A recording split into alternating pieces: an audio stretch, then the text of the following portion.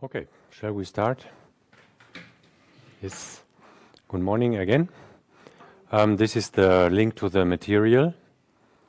If you want to get that, because we will do again a bit of copy pasting today. That's maybe the easiest way to get uh, the instructions into the system. I have updated a bit the required software.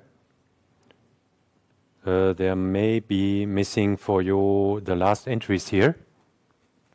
We need later on, not now, but you can probably just do it now. Uh, three Python libraries. Uh, no idea about Mac use. Any Mac users here today? Do you have Mac? Do you have on Mac this pip software? Yes? Okay, so probably this applies also here, then I will write also Mac. Is it is the font okay for you, or you consider to come closer or uh, enlarge more? Yes, yes. Not sure if it completely. No, it's okay.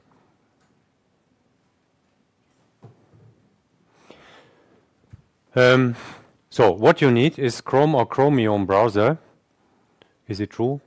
Yes, because um, we want to use the RESTman um, unless you prefer command line, which is equally fine.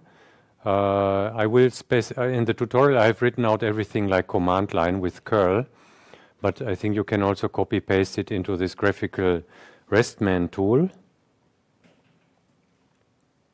That's an extension for Chromium. I'm not aware, but it may exist of any uh, REST client for Firefox.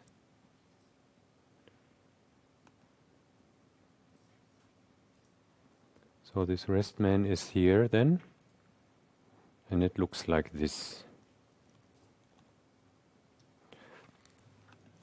You can do stuff. We will do this in a moment, and it will ask you for username and so on. We will come to that. So um, it's up to you what you prefer.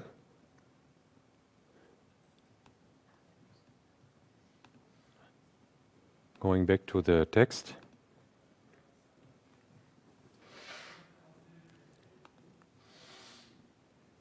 So the browser, because of the extension, if you have a different um, REST client you like, tell me and I will edit happily. I just did a quick search what's existing and what looks reasonable. And then we will use something on command line that is uh, the, uh, let's say, the usage of Grass commands, uh, sorry, of Actinia commands uh, through a Grass shell. And for this uh, client, we need to have uh, these packages, Python packages installed.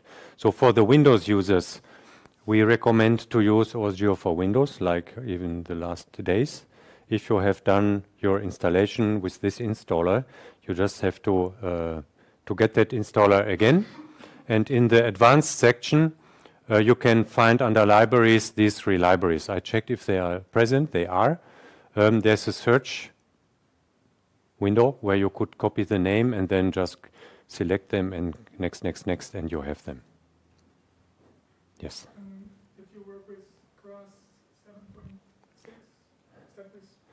Ah, yeah, that's uh, that's maybe an issue. Is it? Maybe not. So the thing is, um, the Grass session is only a kind of container for this application. The application uh, ACE or whatever we want to pronounce it um, is uh, written in Python 3. It's a standalone script in the end but it makes use of one function which is not present in 7.6 MAPE. Um, yeah, to be honest, I didn't think of that. It will not happen that we backport it to 7.6, but it also unfortunately didn't happen that we published the final 7.8.0. I'm not sure if in the under development there's not 7.8, right? So how many Windows users do we have here? One, two, you also? No. Okay.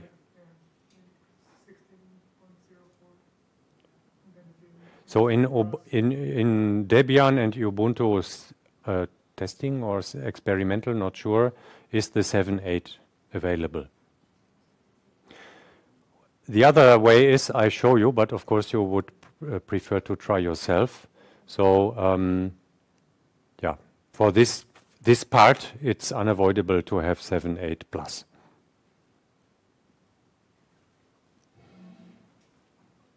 But we will start with, uh, let's say, some basics first. Just a, another question from my side. Uh, who's uh, familiar with REST in general? I hope for maybe nobody. So congratulations, because you probably know much more than me. Um, but I start from the very beginning to get all on onto the same page. Are you kind of settled now with this uh, installation stuff? Yeah, maybe you do it in parallel then. So, um, the graphical introduction I have linked here. This we have seen before. I don't know if you want to see it again, maybe not. And um, that was setting the scene. Why we did this uh, development and what it does, it's just in a nutshell. Uh, you can look it up again if you want to have more background. Mm. We assume working knowledge here, what uh, concerns uh, GIS analysis, remote sensing, and so on. But this is probably not an idea. So I start with this REST magic here, representational state transfer API, and some cloud basics. Um, I'm not telling much about uh, how this cloud stuff works, like Docker, OpenShift, and so on. It's not needed here, but uh, if you have questions, then just simply ask. Okay. Um, maybe not clear to everyone uh, why we do this cloud computing. So this is uh, just a quick view on uh, on things here. You know about the Copernicus program that we get probably um, almost one petabyte per satellite per year, which is yeah unprecedented for sure. The Landsat archive is, I don't know, it's very long. It's 40 years of data, but still the resolution was lower and the temporal resolution as well. So the amount of data produced by the Sentinel satellites is really, really uh, enormous. And if you want to process that, time series and so on, you want to avoid two things. To transfer the data to your own infrastructure, because you usually don't even have it. Um, one Sentinel-2 scene is something like one gigabyte. Um, but if you process it, then you have another gigabyte, maybe. It depends on what you produce. If you do like uh, index computation, of course, you, reduce the number of channels to some resulting maps, then it's a fraction of that, but still it is pretty heavy. And if you then try to uh, compute the, uh, let's say, the ongoing uh, vegetation index throughout the year, you have one coverage every five days, or even more, depends on where you are, even higher, between three and five days. So it accumulates to a lot of data. Uh, the, I think Germany is covered by 50 Sentinel-2 scenes. So you would have um, one year is like 50 weeks. Yeah, each week one coverage. So we have 50 times uh, 50 tiles. Yeah, and then multiply one giga and so on and so on. And so it comes to something. Mm.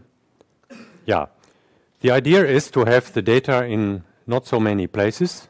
Uh, there's an, some, there are some initiatives called DIAS that are infrastructures funded by the European Commission, ESA, no, European Commission, in order to uh, set up infrastructures which are dedicated to Copernicus and related. And um, there are also private marketplaces out there. And the idea is to compute things where the data are in order to minimize the amount of transfer. It's still quite some work in progress in my view. Data storage is solved differently and so on and so on. But anyway, so we want to address this compute next to the data here. You don't want to bother yourself with uh, uh, data management, and that's what the that's something what the cloud is for. A big problem is uh, there's a new term, or not so new, maybe analysis-ready data. Yeah, the user wants to have data which are ready to use. You do not probably want to do atmospheric correction because you have no idea how to do that, or uh, in with SAR processing, the raw SAR data, you have to do quite a few steps in order to turn them into something which you can overlay to your GIS data, uh, and other steps as well. But also in the GIS world, uh, like uh, laser scan data are sometimes uh, delivered as point clouds, but if you're interested in a surface model, you have to derive it somehow from that. If you already get that, for some users it would be much easier because they have no clue how to do raster binning of point clouds and so forth. So this is all towards analysis ready data. You take the data, you can just compute things. Um, it would be wonderful to have such data already in your cloud infrastructure, but often it is not yet the case. And this will take for sure more time.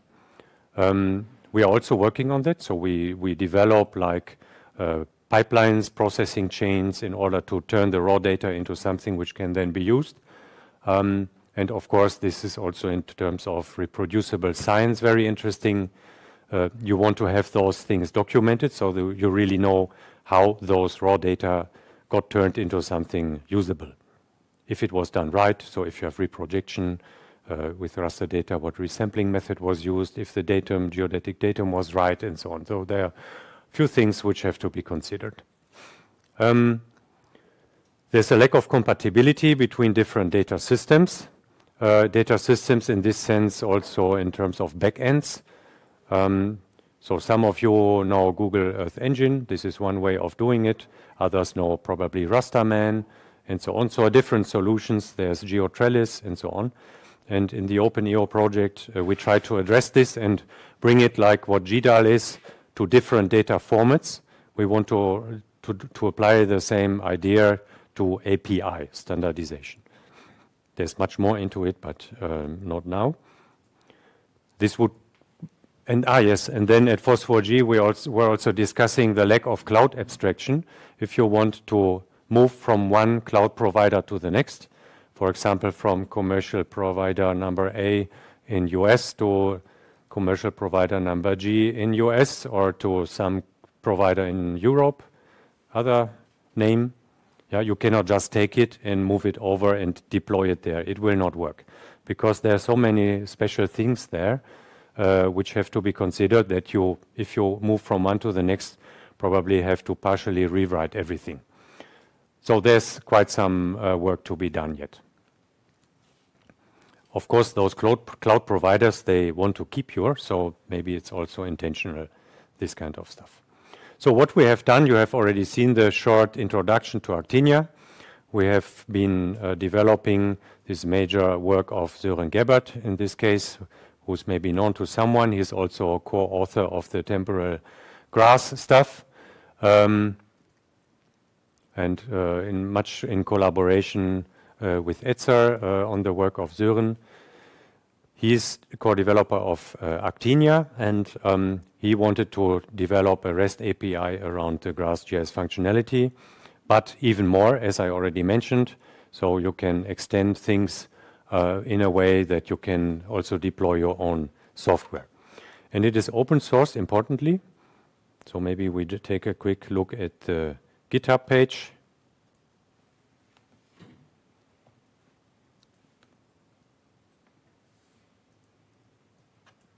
So it looks like GitHub. And um, here you have the different scripts and the source code and so on. And here you can see, get some background. There's also a small publication which we wrote for a Big Data from Space conference in February, which gives an overview, for pages on Actinia. And um, well, yeah, documentation is there and so forth. And these are some examples we can look at later.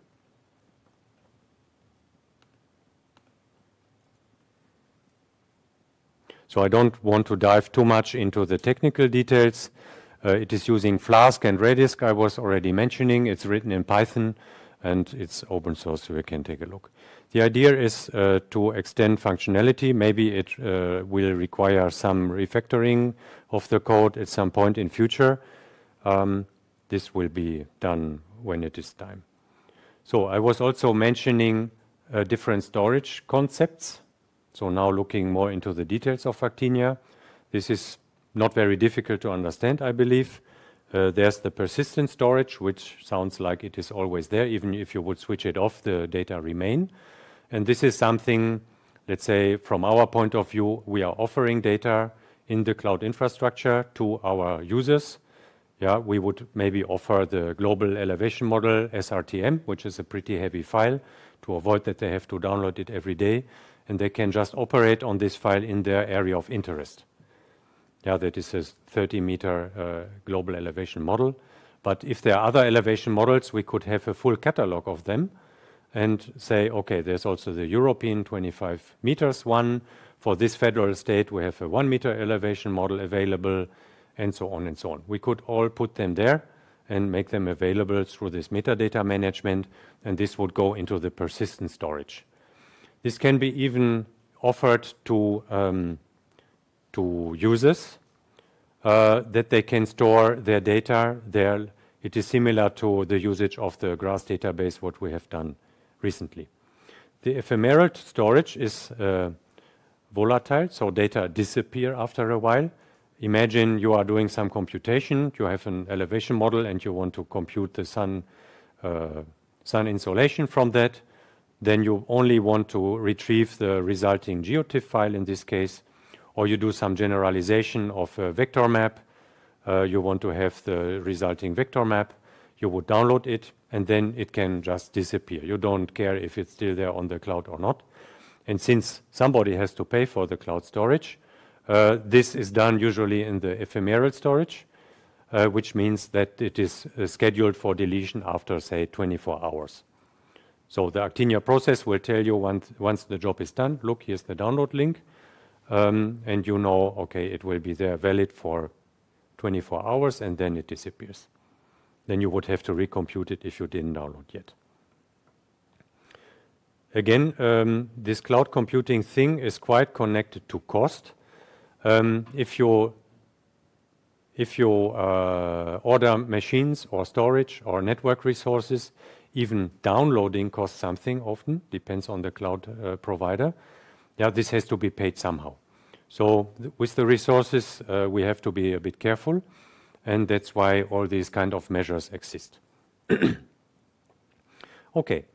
Um, any questions so far? But just interrupt me as needed.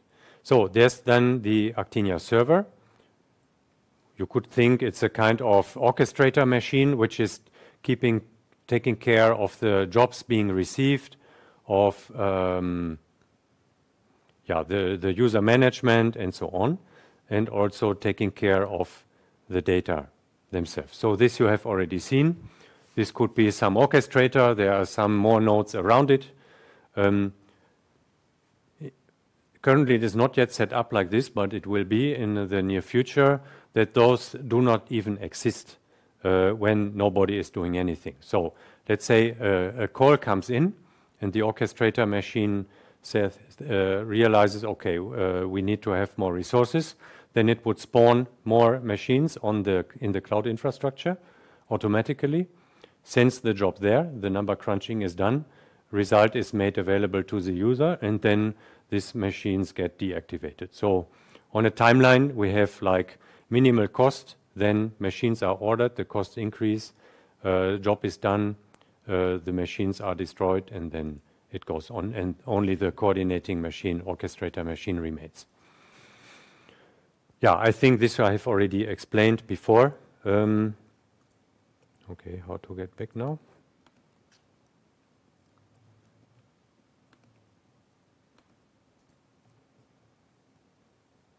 Storage is done. Uh, then I mentioned this load balancer. The load balancer is responsible for getting the job distributed over the different nodes. By the way, there's another talk we gave at FOSS4G uh, last week, which is more into this uh, stuff, but with a focus on image classification and how we use it for the fiber optics planning. So the link is there if you are interested. Then a few words before we start uh, with the REST API about deployment. Mm. Who of you is familiar with cloud stuff in general? So do you know what deployment means? Yes? A few, a little bit, some, maybe not. Okay, just a few words also here. Uh, one of these buzzwords is uh, infrastructure as code. This is something we use in, in one of our projects. The idea is basically, you know, if you write a script, the script is doing what you're ideally doing what you have written down there. Basically, it is doing what you have written there. It is not necessarily what you wanted, but uh, let's say uh, you have the code. So now we bring this idea to setting up the entire infrastructure. What means um, order machines, set up the network, define the users, uh, order storage resources, connect the storage, and so on and so on. You can imagine that's a kind of big uh, architecture which can be set up like this, but it is only done by scripts. So in the end, if the entire data center is destroyed and you have your scripts separately stored, you can just launch it somewhere else if the uh, cloud infrastructure is compliant. And um, the idea is to have like a failover safe uh, software or infrastructure, and you code it as scripts. We can, we will not uh, talk about this in detail right now, but uh, you can, I probably now imagine. And to launch something is called deploying the software.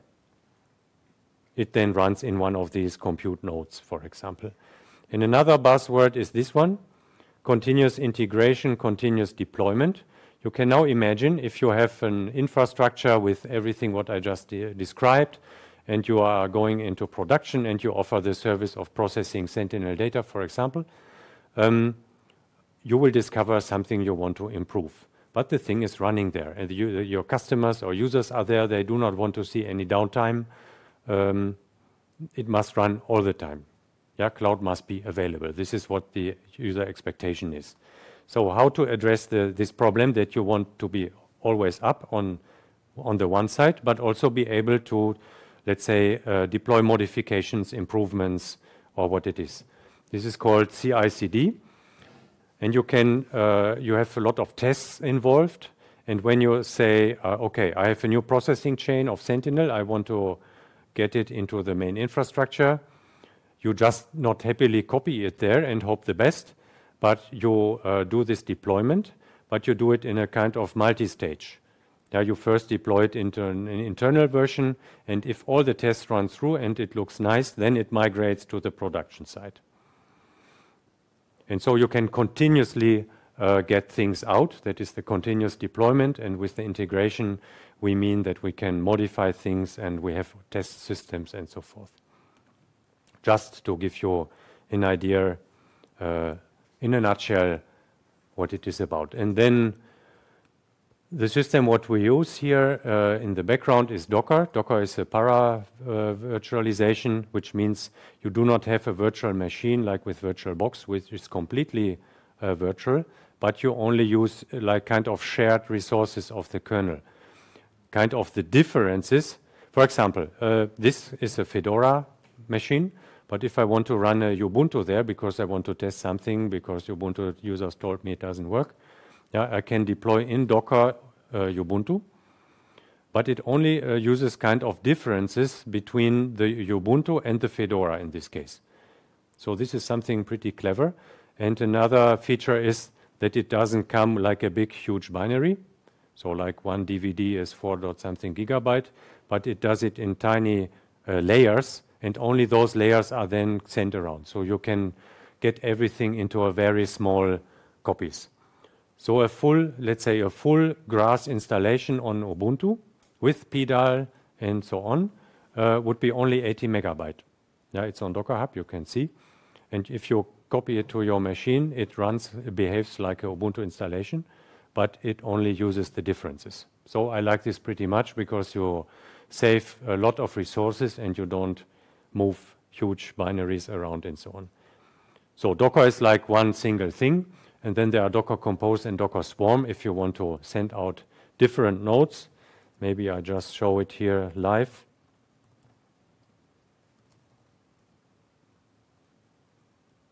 Ah, sorry. Yes. So I connect to our Actinia server, the one we will be using now. and I write show me the processes running. And you can see here there are different containers. So there are different instances of Actinia core running, production and version 5 it is internally. 1, 2, 3, 4, 5, 6, 7, 8. And the Redis database, uh, I already mentioned for job management, is a separate container. So you have these node, this is one machine only, but still it behaves like it were eight machines plus the database machine in parallel, and all of them they are connected. And this I could also deploy on a distributed system in a in a big data center. This is just uh, uh, one cloud server we have somewhere in a data center, but it's not a big one because it's too expensive to play around. Um, yeah, uh, uptime you can see I just uh, restarted this, this, it this morning um, in order to have some changes. Yeah, and they are the workers and they are doing the stuff. Okay, and then a quick view on the components on a full architecture, how it could be. Uh, the core is, of course, the analytical part because we want to compute something. Uh, we have connections to external data sources like Sentinel Hub or NASA or whatever it is. Different interface layers, most importantly, the REST API, which we will be looking at. We have an OpenEO interface, which is also on GitHub. Uh, we have the Actinia command execution interface to run it from, control it from the Grass session, metadata management, uh, database connection to OGC stuff, and uh, GeoServer things. This is from this one presentation, the view. Okay, it looks complicated, nice, but still uh, analytics is here, external data sources there, interface layer is the core, the orchestrator machine, the link to the metadata, link to the database systems, and here uh, we also have something under development to push the results, what we compute here directly into GeoServer, so that you can then uh, make it available to users through uh, web services and whatever you like.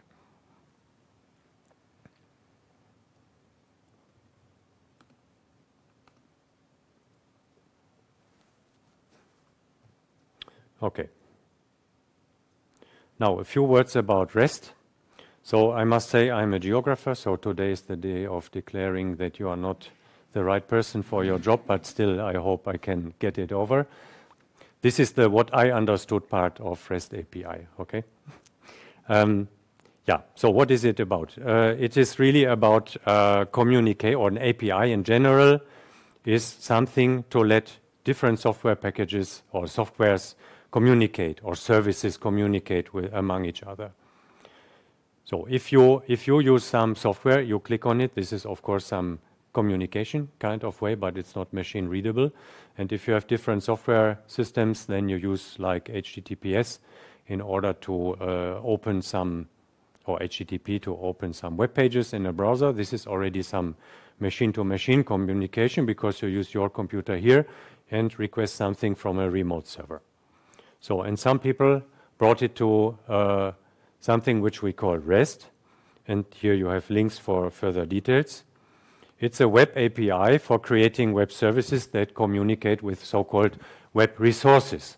So what does it mean? We can basically, with the REST API, uh, execute commands remotely. So if I say uh, I want to see this Wikipedia page, this is already kind of execution of something remotely because the server remotely has to generate the page or get it to me somehow. Yeah, but here we are in the geospatial context, so we want to do some uh. Um, and we also want to have results back, not just like informational pages, but even like uh, raw data, or let's say geodata. Uh, WPS you are familiar with probably. It's not so different, but it's a completely different standard. You also say web processing service. I want to process something there and I want to get back the result. A REST call um, is something where we receive a response and remotely maybe some processing has happened. And we have four parts here. Um, the so-called endpoints. The endpoint is something which does uh, a certain task we have the header, we have data or a body, and the methods. and I will now look into this in detail. Mm. So an endpoint is more or less a URL. Yeah, if you, it follows some structure. You have an API, some server or whatever it is, and uh, then you attach, like in browsing web pages, you attach some more parameters there. So as an example, um, we have here API of GitHub, some user, and I want to see the repositories. With repos, we just see the list of repositories, but now we can attach also something, uh, which is a parameter, uh, often comes with key value pairs. So we have here the query equal value. Yeah, we can even concatenate more and another query value. And as an example, we do here query is sort and the value is pushed. So this is coming from the GitHub API. And clicking on this or sending this uh, through our curl or RESTman later, it would uh, get back uh, the result.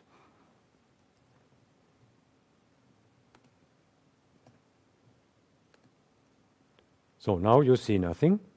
And this nothing reason is because that is JSON. So this is a specific format. And we can, so in, in Firefox it comes like this. You can click on this triangle and you see something more. And now you see the repositories this user has. For example, grass repository uh, fork. You can expand also this stuff here. Okay, there's not much there, just the extension of the name. Um, created this date, and so on. So now next one. Yeah, Actinia core, next repo, and so on. So apparently this user has quite a few. And the representation is in this format. The browser itself does it like uh, more readable with colors and so on. But uh, we can see raw data. The raw data look like this. So if you are familiar with XML, then you might see that this is a little bit more readable. Um, not sure if that was the reason to invent it, but anyway. Okay, then we have header and body. Um, a request which you send to the server and a response you retrieve back comes with uh, a header showing details and optionally a body which contains something. The body contains, for example, uh, data you are retrieving back. So you request the server send me population table, and you get it back like this, of course, in JSON format. Oh, I see the format is messed up here, unfortunately. Um, we have different request methods.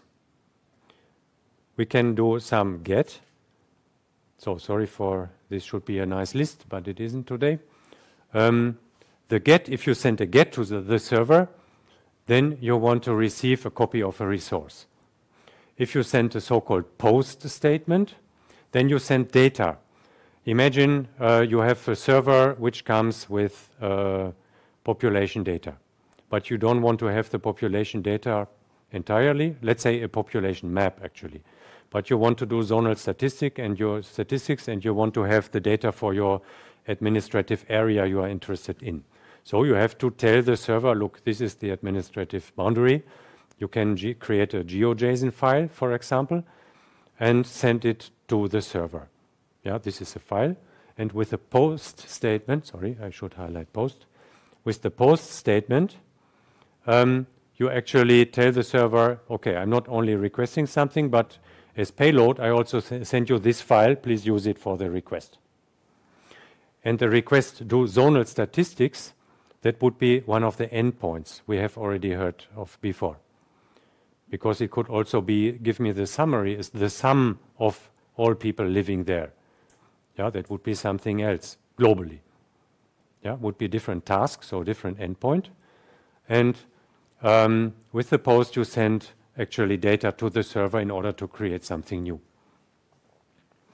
With the put, you can also modify something remotely. So now you probably start to understand that it is something which is really doing computation remotely. And with a delete, you can delete something remotely.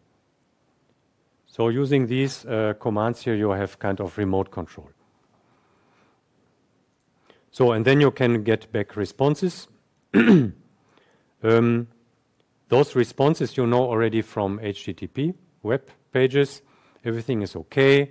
Or 404, you know resource not found. 401, you are not authorized. 500, internal server error. Maybe you sent uh, some request which the server just didn't understand. Means the resource would be there, but it cannot get it, and so it sends a 500. There are many more codes. Uh, there's a web page for that to look it up. But usually in a service, you should also get some human readable um, message back. So the JSON format, which is fundamental here, uh, I already mentioned. And it looks like this. So this is an example here. We have in GRASS now the possibility, and that's why you need GRASS 7.8, to turn some command into a JSON statement automatically. So if I run the v.buffer, I don't know who was here yesterday, some of you. Um, v.buffer does a vector buffer taking the road lines input map and writes out a new map called road buffer, 10 meters, and distance 10 meters. So it's 10 map units, but let's say meters here. This would be a standard GRASS command. And we turn it into a JSON statement just by adding this minus minus JSON. But it needs to be a full command. So you cannot just run v.buffer uh, minus minus JSON. It will not do anything.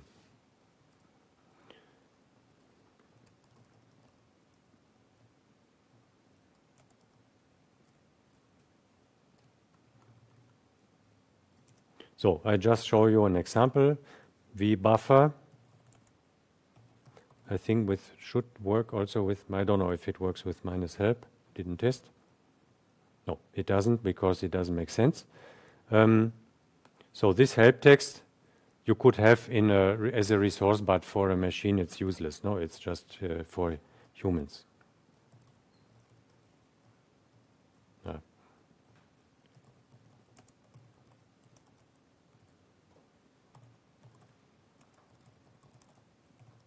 So input my map, output uh, new map, distance equal 10, minus minus JSON, turns it into JSON.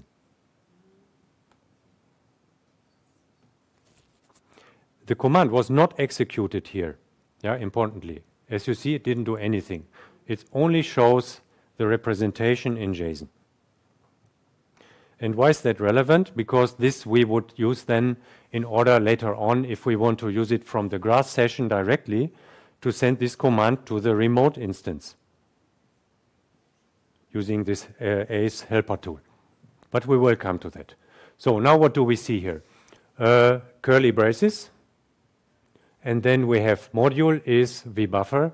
The ID, it gets uh, an some random number here in order to be distinguishable if you submit several V buffers. It's not that they necessarily finish like this. Imagine the job runs for several hours because of massive data or whatever it is. Uh, then you need to distinguish those jobs. If you submit it once again, that's all. So, and then we have a section of input data here, inputs, and here we have a list of parameters. Parameter, input, value, road lines. So the trick with JSON is that you have the key value, key value pairs which belong together. Yeah, so it is basically what you see there is also here. Uh, you will may wonder why this here, which I don't see over there, because that are default values which are automatically uh, used here. I think in the help text you can see that. What was it? Sorry, I'm already lost. Uh, type. Yeah, type, here the default, since it is a default, it is also given to the JSON file or JSON representation. Well, and then we have outputs, because there could be many outputs, that's why there is an S, output uh, value again. Now, uh, in order to let's say, to make it simple, if you want to write that, we added this JSON command, a JSON flag to GRASS in order to quickly write up some um, processing chains later on. and it's also internally used. Because you can now imagine that if you have processing chains and the user comes with something new, uh, using this me uh, mechanism, you can turn everything into JSON easily. And this could be whatever script. And if you now want uh, to have, for example, Snap, ESA Snap, uh, this is a software, yeah, Java-based and so on, in order to do Sentinel and other processing. Um, then you say, okay, Java, now what? But uh, Snap comes with a Python interface called Snappy or SnapPy, maybe, um, which lets us bridge through Python to the functionality in Snap. Still, we are lacking the interface. And in Grass, we have the possibility to easily write add-ons. And um,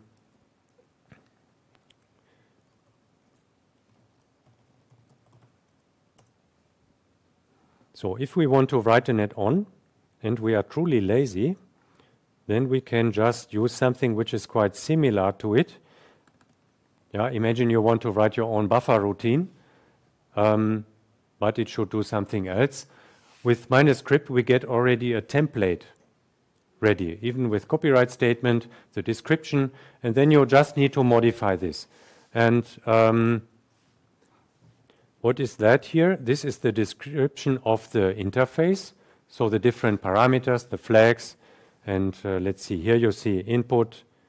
Yeah, you remember input we had, input map is of type string. It is, of course, required, and so on. Name of input vector map.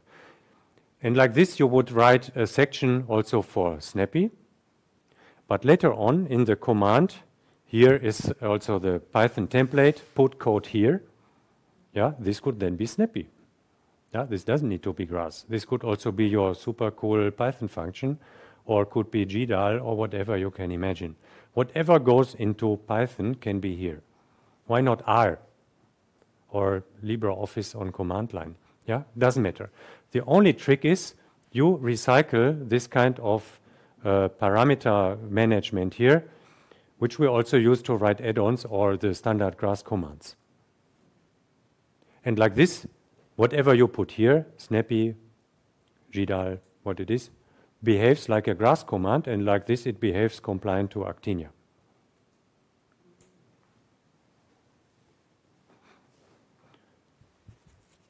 So we basically write wrapper functions ar around it, and then we would get the same output here, of course similar, let's say, but it contain, comes with your own stuff. So you, if you have a classification routine or watershed modeling, put it there, put these few lines which you can partially auto-generate around, and you are done.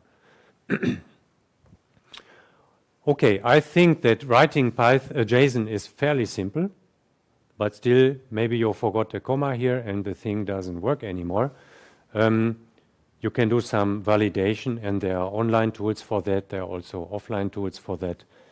Of course, Actinia will also tell you, no, this doesn't work here. You can do an online validation also in Actinia, at least if the syntax is right. Um, that's also possible. Okay, any questions so far? This is what I would tell about REST. Now our REST experts over there, would you tell something else? I don't feel offended.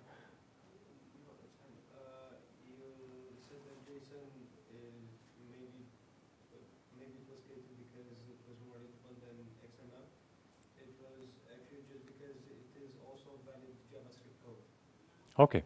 So, I have no clue about web stuff. Mm -hmm.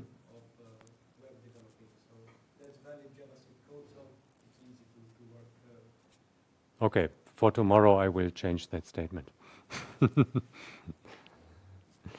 um, yeah, so we could now start. Um, we have some demo user there. You can see the credentials here which you will now uh, need because, of course, unauthorized access to the resources is not what we want. And now you need to decide if you go the curl way or if you go the RESTman way or whatever other tool you prefer. And then you could try this call. This call you can even try in the web browser. It will pop up uh, an authorization window. But it's probably better to use something which is um, ready for for REST. So I think I have somewhere my Chrome thing here. So if I copy, um, I show both ways now. So I connect. Here was demo user, and here was the magic password from the web page.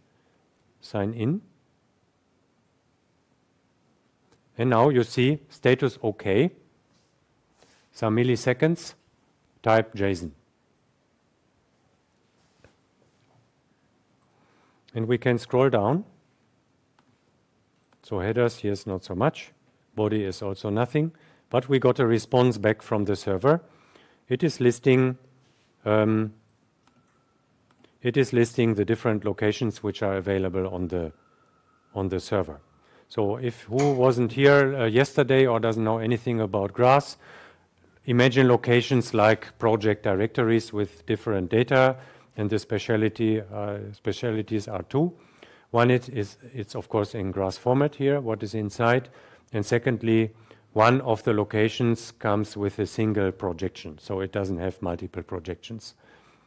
That's all. And status is also reported. It is success.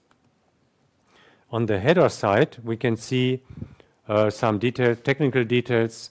When was this thing done? Uh, I think this is server time yeah, GMT, so it's not local here. Uh, the server also advertises what kind of server it is, connection type and content type. So like this, we could also do other checks. I think health, health should be there. Okay, health is not there. I didn't remember it correctly. And you see what happens. It tells you, oops, it is not there, 404. So if you put garbage here, then it will tell you nothing like that.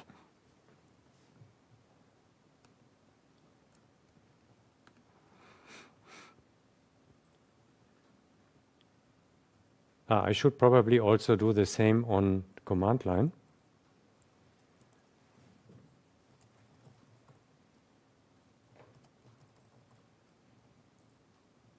Hmm. Source.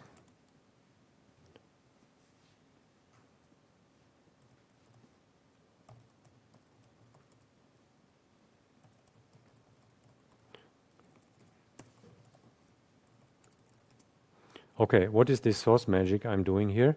It is nothing else than uh, importing what is in this file into the current session. Yeah, this is Unix related.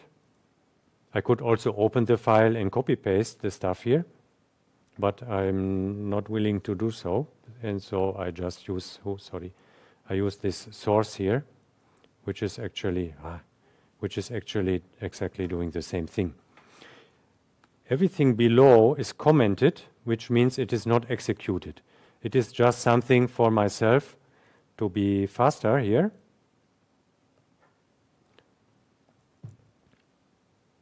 So we have now, ah, maybe I can show you first echo.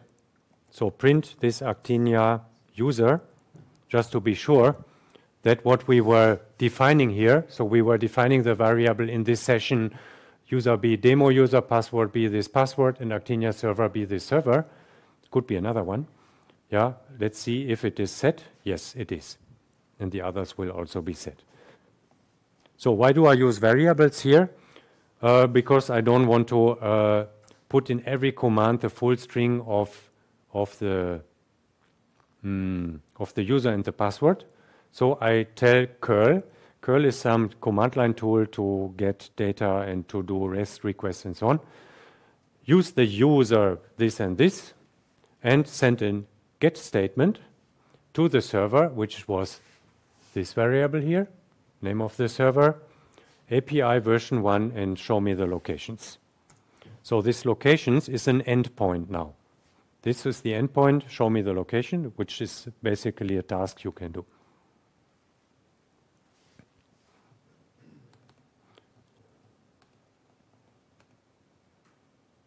So I think ongoing, I, I have um, more or less only the curl version here. Yeah, here I use a different style, a little bit. I was just putting to make it not endless on command line. I put it into the variable authentication out together minus u demo user and password. Yeah. I will replicate it here. So I do the two definitions, Actinia user and then only auth. And now I can modify this here and simplify it to authentication. And the U is also there already here. No need to write it anymore. Curl out and voila, it doesn't work. Cool. Uh, what did I forget?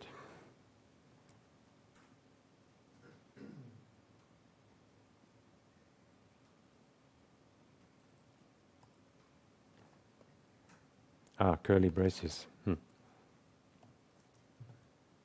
Yeah. Okay, so you need to define, specify it this way. Ah, I know why. Okay. Yeah, please, please forget about the first one. So let's do it clean again. Server defined, authentication defined, and now the curly braces. This is the third one. It's right in the online resource. Curly because there's an uh, exclamation mark there. And the exclamation mark is expanded on command line to, uh, it, it's a trick in Unix or in Unix shell to uh, get the last command again. So if I do this, it's the last command starting with the C. And so it finds uh, exclamation mark there, and it will do the last command starting with the P. But we do not want that, and the curly braces around, they prevent from that. But anyway, here it is correct. Okay, uh, the list of the map sets could be the next topic here.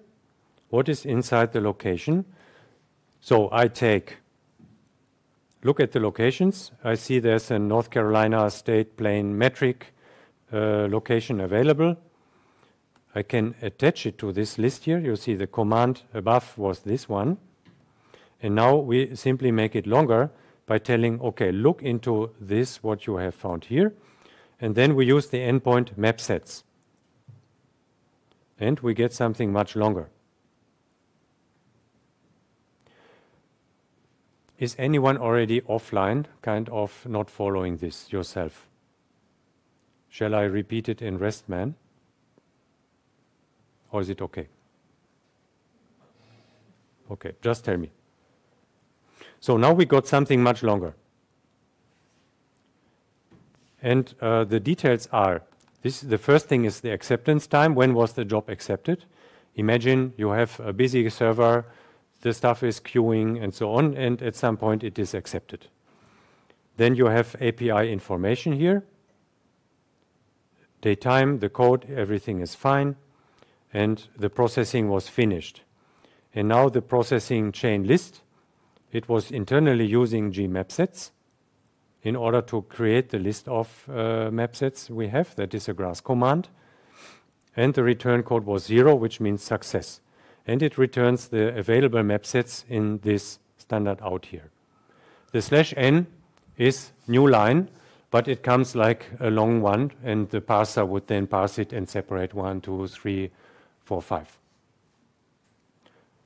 Like in this representation here, you say it more human readable here, permanent Landsat modis, and there are two other spooky maps that somebody has generated on the server. And the resource has an ID,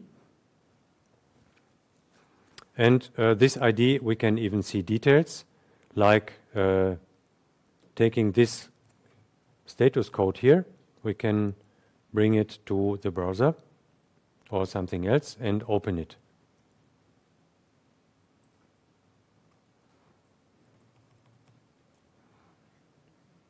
So surprisingly, we see the same because that is exactly the resource.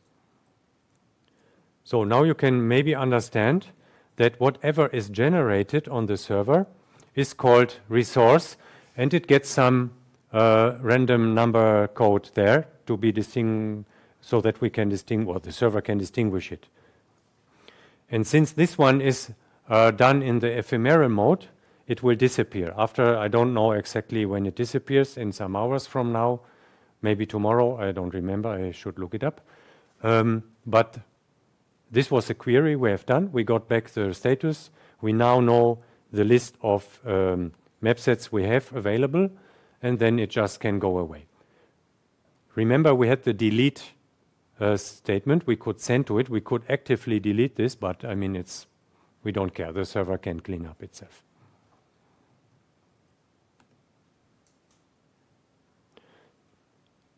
Okay, if you are fine with that, I would go on with this stuff here. Or do you want to simply try yourself? Maybe yes. Um, let's say the list map mayor you can quickly go through.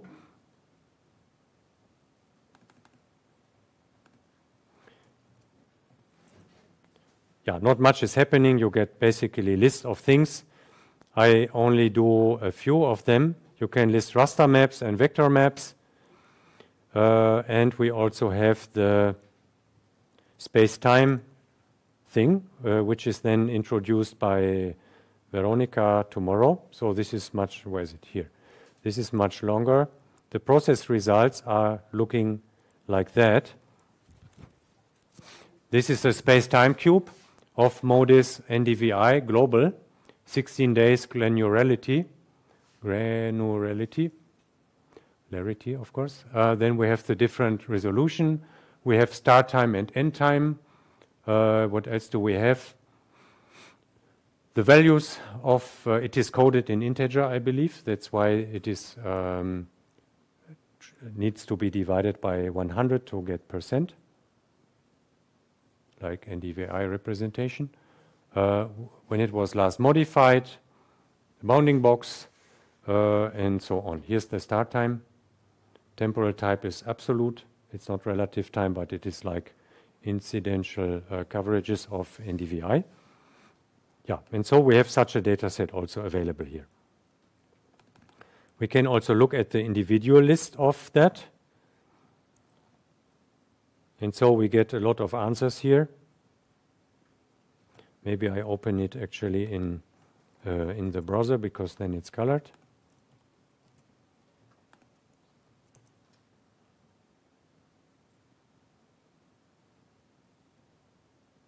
So it is internally a listing. You'll see that tomorrow, no, this afternoon. Um, t.rast.list, temporal raster uh, list all, all maps. Ah, yeah, this is a different data set. These are precipitation data. Um, yeah, and here you see the different entries. So this is layer 0, layer 1, and so on. And they come with the timestamp. So this is the precip annual precipitation from the 1st January of 1955, 1956, and so on. So it's a long, long, long, long list. Remember, this is for machine consumption. Yeah? You can read it, but it's usually interpreted by machines. Okay, the next topic is how to query something. I will copy the command here, which is a bit longish. And I will explain it to you. So, first part is easy, uh, the authentication. You send always authentication because otherwise it will not talk to you. Um, then we have a post. It's not a get, but a post this time because we want to send some information to it and tell the server uh, magic.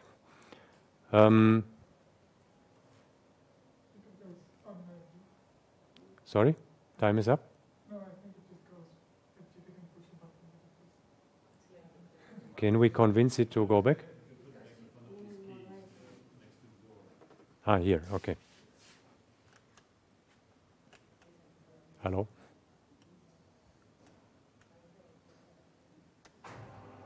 Ah, no, no, no. You mean something else, I guess, to turn the green ones?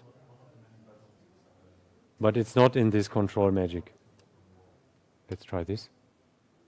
No. Ah, here more buttons. Mm. shut down zip pool too. Okay, can you read it anyway? I don't know. Sorry, I have no clue. So we tell it, okay, look server, we will send you some JSON here. And then we have the endpoint to be defined. And the endpoint is Actinia server location. And this is the state plane uh, North Carolina one. In the map set MODIS land surface temperature, there is a space time raster data set, which is called LST day monthly. Remember from before, you can get the list, so that's easy. And now the job is please do some sampling on it. And we send this information here. This is the payload, we can say. The JSON code to say, okay, I give you now um, in EPSG code 43 to 6, I will give you two coordinates. This is roughly Bonn. Does it make sense? Ooh. I'm surprised myself. Let's see what happens. Say again? This process is something GeoJSON mm -hmm. be equivalent to the command or to the Yes, to Yes, I will come to this in a moment. Yeah, so I was clever enough to make a query um, on MODIS in North Carolina, which is actually uh, re retrieved with Bonn coordinates. So not surprisingly, no result. This was not intentional. Can anyone tell me lat long of North Carolina, please?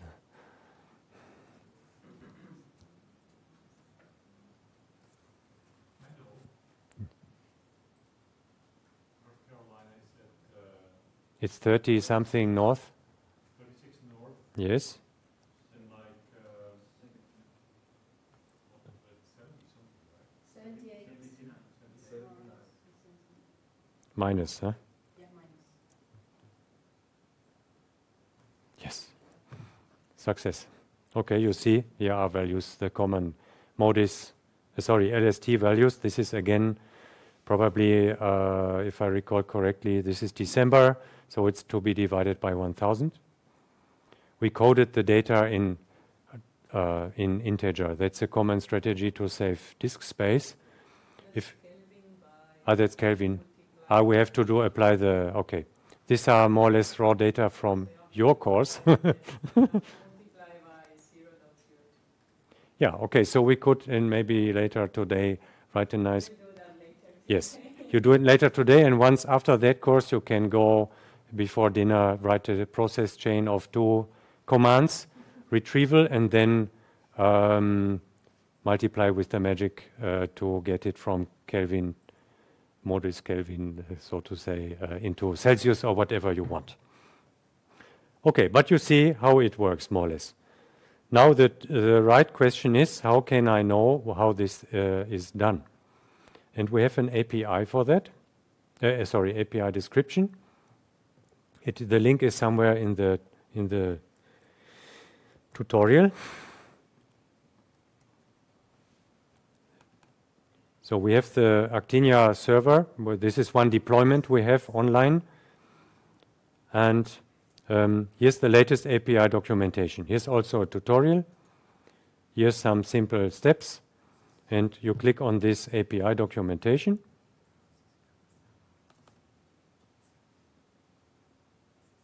And it, it renders the documentation automatically. So this is the link from the software itself, source code.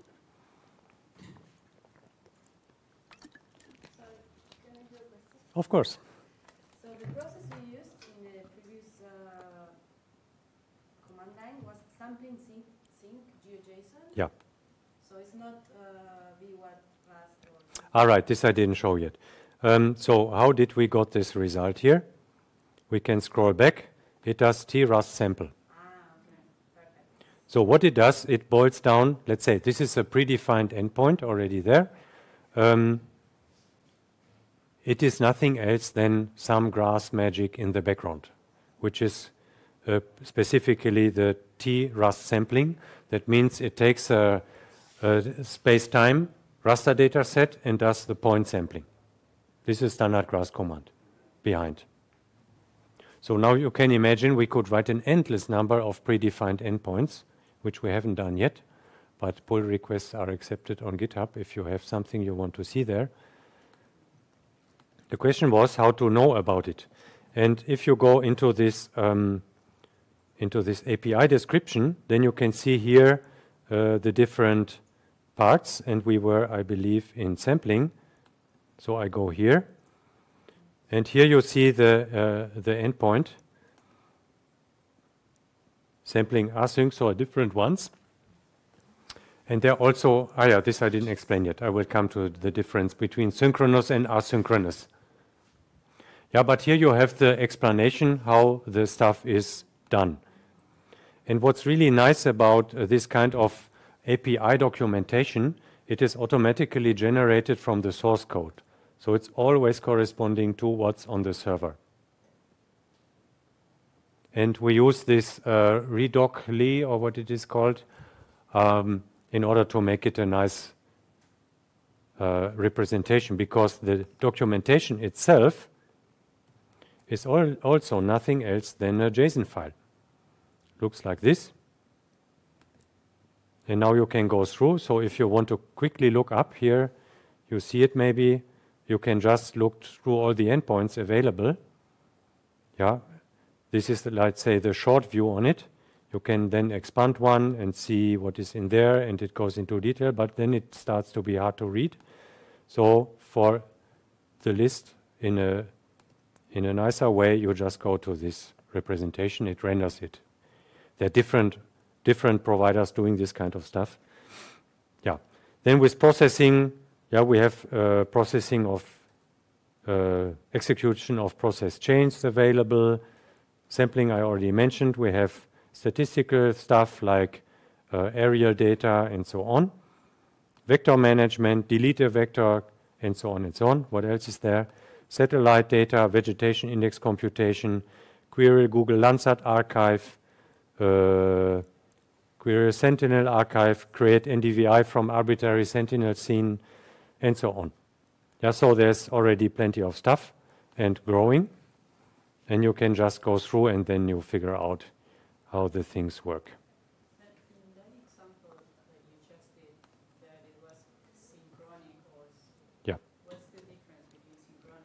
Yes.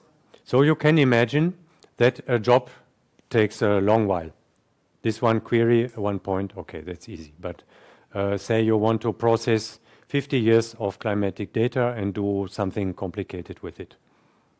This could run maybe for an hour, let's say, or maybe uh, if it's better, if it's um, yeah, whatever, sometime.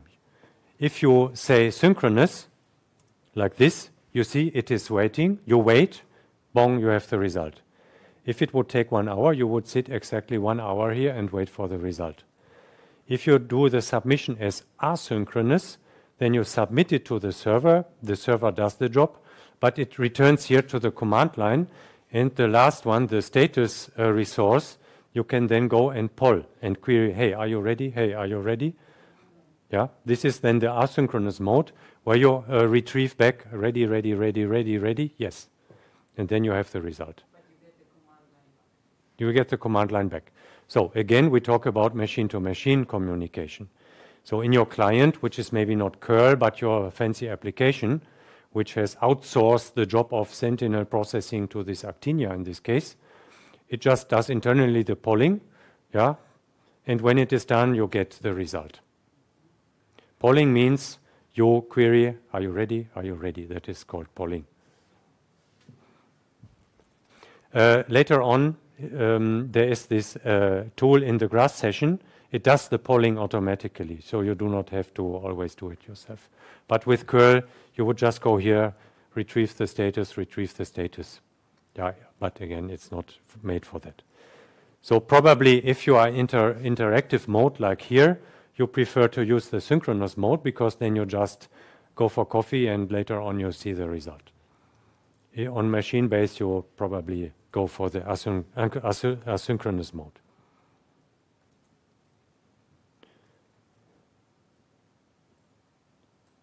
Uh, yeah, maybe I should take, uh, I think it's not in the tutorial yet. I will try to remember that I put it there. Now, it will get a bit difficult if we have uh, this um, code here that we want to query something and it gets super long because it's a full process chain. We can do something else. We can store this in a file. So I take the code up to here, open text editor, my query actinia.pc, for example, process chain, or I use JSON. I copy it inside. This editor is aware of JSON, so it shows it in color. And then I can, instead of doing, wait, I want to fix the coordinates. Minus 7836, I think we had. Now I go and use uh, send this as a file to a curl with via curl. So the payload with minus d is now a file. And note this at sign here, it indicates file name is coming. Could also be path to file. Okay, something is wrong. Yes, of course, because I had a different name. I called it my query today. And we have the result again. So for more complex uh, process chains, you definitely want to write them down in a file because then you can also more easily do validation and so on. And you send it via file.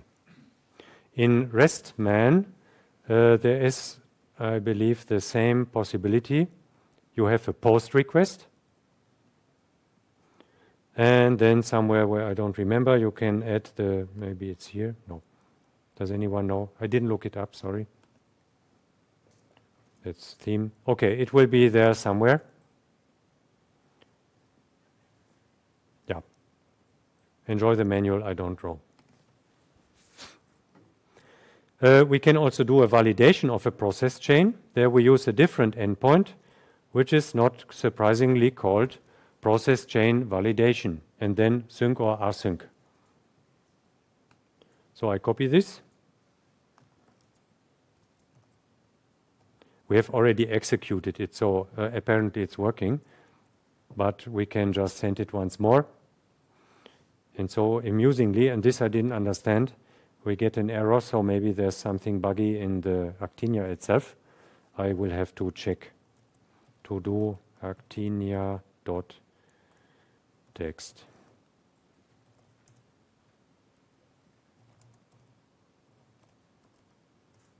Okay, so I have uh, taken a note.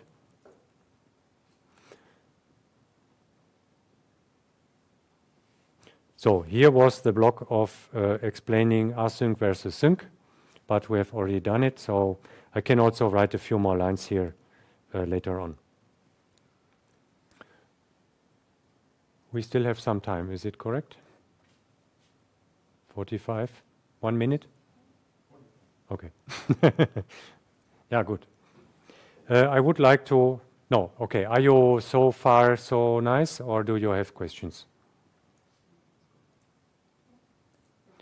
Okay, so next I would like to show you um, how to control everything from grass. Just overview what, what I have more or less prepared. I must admit, this is the first time ever I do this course uh, because it is totally new, everything. Um, we have here a block about controlling actinia from a running grass session. This I would like to show, and we need these uh, dependencies here already mentioned. Then we have something more or less like self-study, but this is maybe too much, I'm not so sure, to write your own uh, things just some ideas what you could do. Uh, but you can also do these ideas uh, in using the previous section, which we now start, uh, by uh, writing the stuff up in Grass and then sending it out, if, just to get a feeling for this JSON process chain stuff.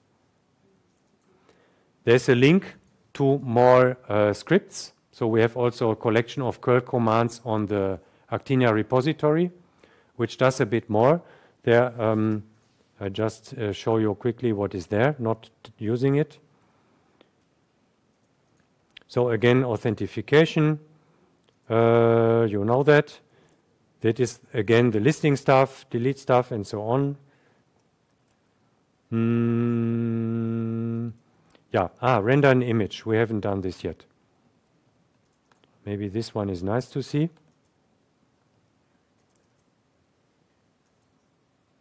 Okay, now you see nothing. Why is that? Because we have used the authentication. We have sent a bounding box as payload with minus D. We have sent a get command, and then we say in North Carolina map set permanent uh, raster layer, the elevation map, please render it. So the endpoint is rendering. This you would find in the API description in the long list, and write out the the result to a file. I don't know if curl has anything different. I didn't read the manual. Then redirection of it for the Windows users. And now you see it saved this file here. Importantly, rendering means it's just a view on it, kind of quick look. Yeah, it's not the original file. To retrieve original file is a geotiff. In this case, uh, would be an export function. We also have that, of course but we will have show that later. Um, okay, this we have already seen, this we have seen. Here's another processing chain to play with. Uh, it is a slope aspect computation. Uh, and here's another one doing even more. It's fairly long. Validation and running it. And then in the in this example, we have parallel computation. So I don't do this now or not even today. If you're interested, take a look. How to run processes in parallel, to fire uh, many of them.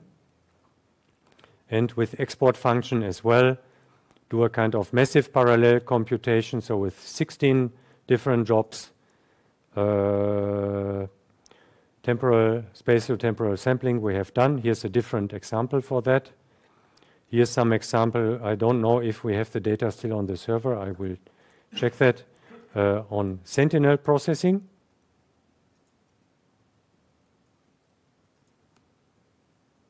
Yeah, it is an AWS query. I think this is no longer possible uh, because, uh, to my knowledge, Amazon started to charge for that. And so you would need a, a user on Amazon for that, which is uh, equipped with a credit card access. Okay, but you can imagine. We have something prepared for OpenEO use case. This is definitely work in progress.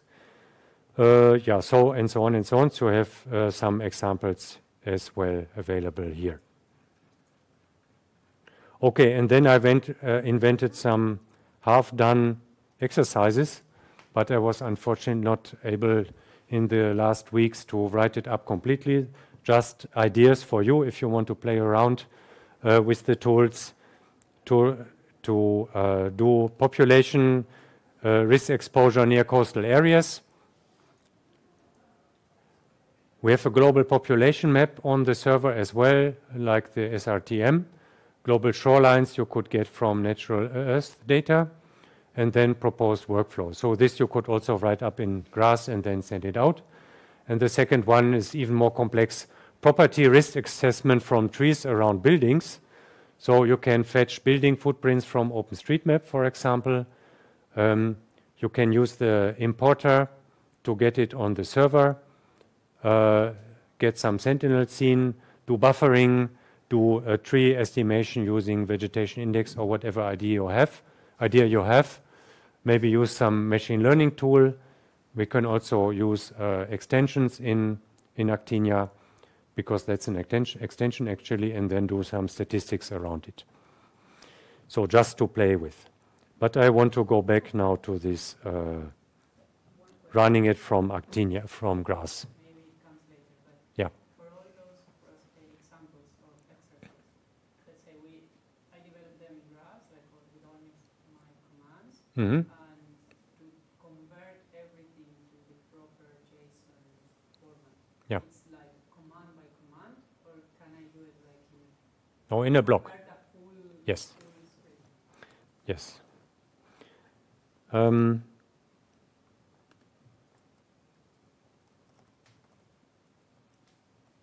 yeah, you basically a bit anticipate what I will show. but I show you one example only. The thing is uh, that um, you are currently on demo user, and I don't have uh, created a geostat user. So maybe I do that and send it to you then. So the thing is simply, if I put out the, the geostat user with superpowers online, then we will not be owner of our own server anymore because people start to do a lot of stuff. The demo user is a bit limited in amount of pixels you can use. Uh, we have control on which commands you can actually use or which endpoints and so on. It's a bit restricted. It's to play around, so we don't have to buy or rent uh, huge servers. Uh, an example is uh, which one? Like generalization of, of vector lines. For this, you cannot use the demo user because you do not have access to the generalizer. That is uh, restricted. So you basically start grass. You have the tool I will show in a moment, which is imagine something like curl, but a bit more convenient. And then you do this single line here, which retrieves data from a server where you have the, the, the administrative boundaries available. Unfortunately, the natural Earth data server is not compliant. I don't know what happened. It used to work, but since uh, some days it doesn't anymore. You import it on the fly into this map name. You can choose yourself. And this you give to the generalizer. You say, the new map name shall be this one, DP for Douglas-Peucker, and I please want this in, in GML uh, format back. So this is the magic here with the plus. Input, yeah, you know from Grass, input is map name, but the map name is not there. So we say plus and then give the resource as a web URL. That's the cool feature. And we say result, please deliver in GML in this case. GeoPackage uh, supposed to work. It's apparently not yet online. Uh, we will have that also soon. And then you say, okay, use the Douglas reduction method and use these thresholds, which is part of the generalizer. And then what happens? This is only a single line, but you can have more. What happens? It does the generalization. It downloads on the fly the input map. It does the generalization and deliver, delivers you back a download link, and you have the GML in this case back.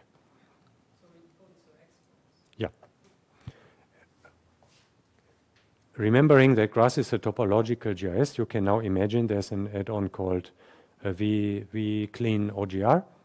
You import your, you put here your broken shapefile, and you get back a polished one. Okay, uh, one more, a bit more, uh, a bit longer. Let's see if it was this one. Yeah, the only part is the yellow part here. The rest is only tutorial style. I hope it's readable. Is it readable? Not really. I take it out into a separate one.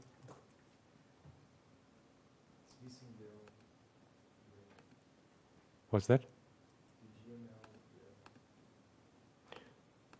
Well, it goes from echo to this file. This is the real job because the rest is only tutorial stuff. Oh, what did I miss? Ah, the L. Ah, sorry, sorry. Here is the L. Now, um, we get the map into, uh, into Actinia. Using vInfo is even sufficient. And we have here the addition of the resource. And then we say, okay, align uh, the vector data, or let's say the computational region, what we want to compute, to the population map. This is the global, uh, what is it called? Uh, human settlement layer offered by JRC, which is already on the server. This is one case of persistent storage. Yeah, we do not want to see every user fetching gigabyte of stuff just to co compute something. So we offer already something ready to play, the analysis ready data it would be. And then uh, on the global map, align the, the vector position, the bounding box of the, of the uh, vector admins to the pixel uh, geometry of the population map. Yeah, that's all. So um, then we do the zonal statistics. Here we use the vector tool for that, vector raster statistics. We say the vector map is this, the raster map is that. The vector map just came from the resource here, and please add the following column, the summary, min, max, average, standard deviation, percentile, and the percentile, please, 95th percentile. And then we want to export it. And this is the, now we are talking about GRASS augmented with the Actinian uh, command execution. There's one extension you have to install. Um, it's the exporter function. The name is not definite. Maybe we call it ace.exporter would be uh, maybe better. And then we say export the new vector map. It's the same vector map, but it uh, received more columns here, yeah, with all the statistics inside. And please send it out as a GML.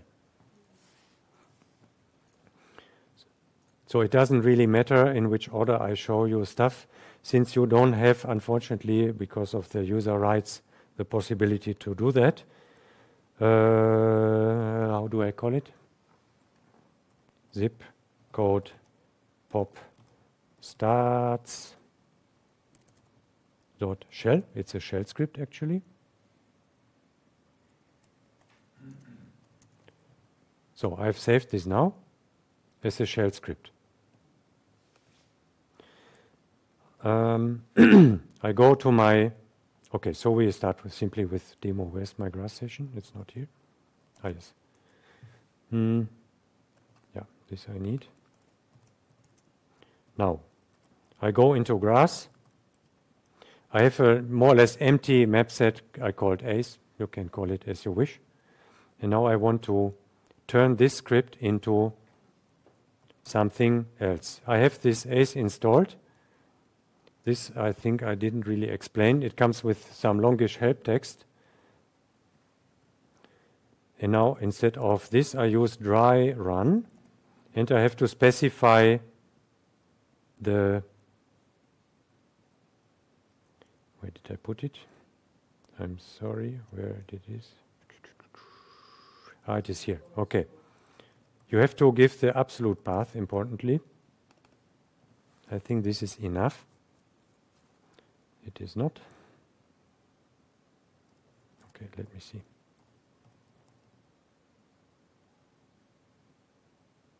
Ah, yes, I have to say in which. Ah, minus script was missing. Okay. Okay, now what we are doing. We have this tool. We say dry run, so it doesn't do anything. Uh, please use on the target server this location. I think it is exactly not this one, but it is lat. No. Okay, I need to cheat because I don't remember.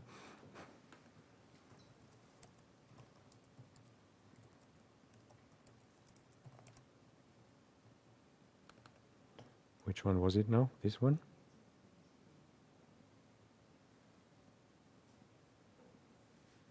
Ah, in the Mollweide we have to run it.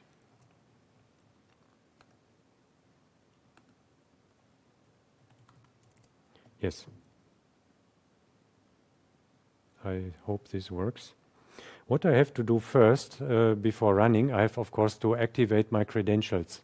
And then I will use the superpower ones and not the demo user, but I will show that in a moment. So dry run was the topic. Yeah, we gave it, the, we give it the script, and automatically it comes with uh, the JSON. So that's all you have to do if you want to write a process chain in JSON if you are in the GRASS terminal and use this tool. So honestly, I find it quite convenient. Um, and then you can, of course, come up. Maybe in the long run, we will have kind of toolboxes, uh, sorry, kind of template collection for online somewhere to play with of uh, existing processing chains so that you can, from a catalog, download that. But uh, yeah, coming soon it didn't happen yet.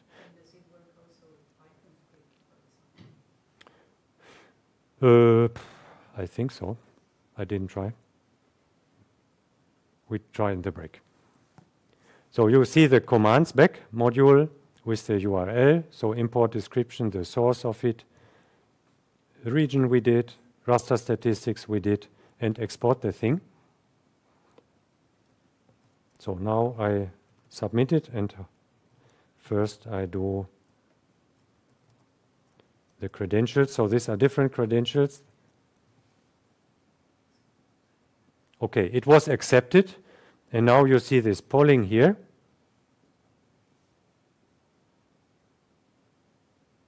And we got something back.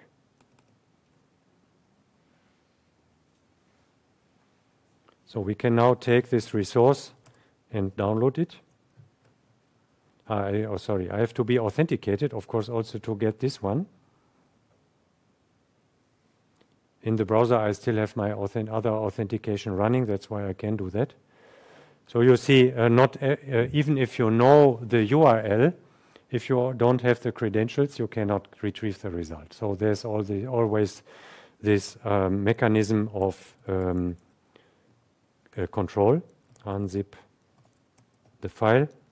The GML is pretty big. That's why it is coming in in compressed form. And since it is a map, we can now open it here. Yeah, this is a lot long, but it could be in something else. And I guess if I retrieve one of those areas here, you see all the new uh, columns here, which we just added. So what we did, we told it, look over there's the vector map. Uh, we already have on the server the ready-to-use raster map. Do the statistics and give me the, uh, the improved uh, vector map back.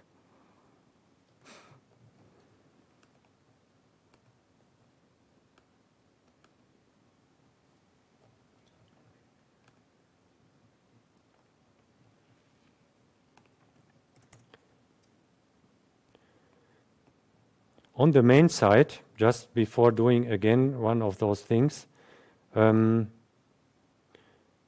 because I missed that before, I would like to show you, I'm not sure if this user is uh, enabled to do that. You can imagine, I just don't do this right now, but you can use an endpoint which is called Sentinel NDVI. And then you give it the, the scene. And NDVI only needs two channels because the red and the infrared channel. And in the background, it fetches the data not from ESA, but from Google, because Google, as I mentioned earlier this morning, or yeah, uh, offers the data uh, in an unpacked way. So we can just take this and this channel instead of fetching the entire package. Yes, and then you would get back this one.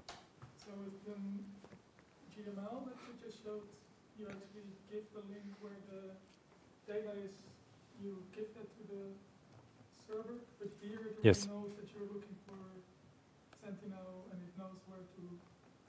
Exactly. So for some data resources, um, we have some endpoints implemented where also the source of the data is implemented. Yeah, in this case, it was user-based. Yes. Yeah, it is just a generic we wrote ourselves script.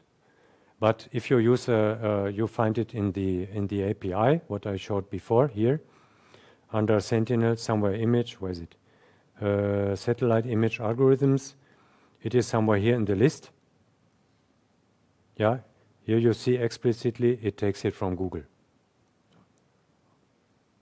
Somewhere should be Sentinel, NDVI of an arbitrary.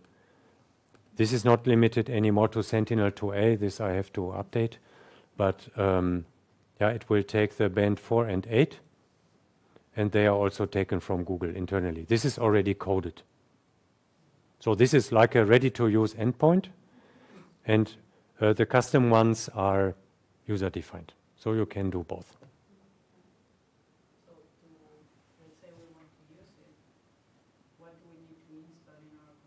Exactly. So this would be now what we have to do. Um, yeah,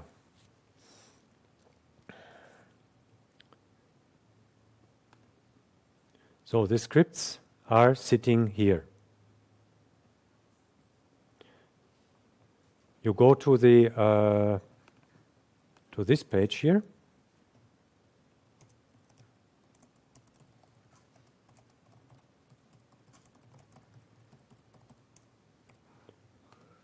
So I, I want to have it available through g.extension, that we just uh, do g.extension and then it comes, but yeah, I did manage. Took a nap this night, so I didn't finish this part. uh, we have to download it manually. You go here and take this script.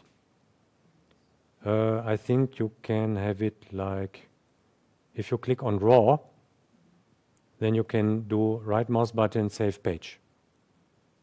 I know it's not very cool, sorry for this, but uh, it's doable, I hope. So what did I do?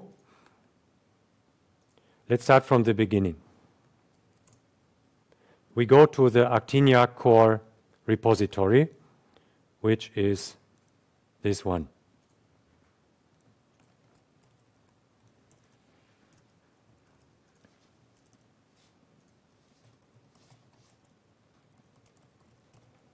Okay? Once you are there, you scroll down and you go into scripts. Then you already arrived. And there are two or three uh, different tools. I didn't find out how to download this with g.extension from GitHub. I think it's not possible. Uh, so we have to do it manually. In the end, you need three files. File one is this one.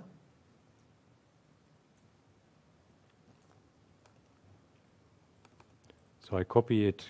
I don't know. Do we have, uh, should I put it in Mattermost or something? Would it help? The file 2 is going, ah, going back is the exporter and file 3 is the importer. But here we need the entire directory. Uh, how to do that?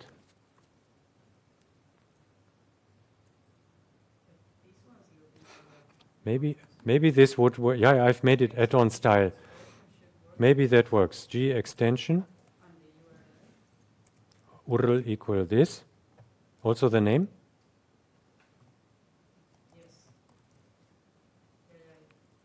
Extension equal the name. Let's see.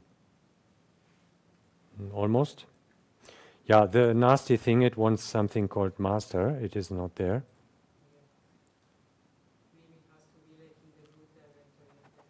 Exactly. So we simply have to move it out into a different one. What I can do, I can just do it now.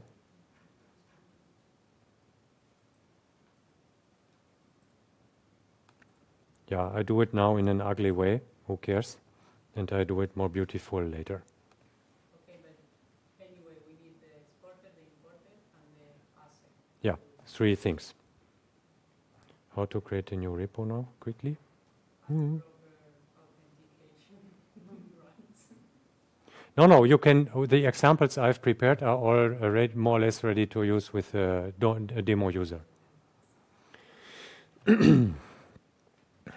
ah, I have to go here. Okay, I will quickly generate exporter.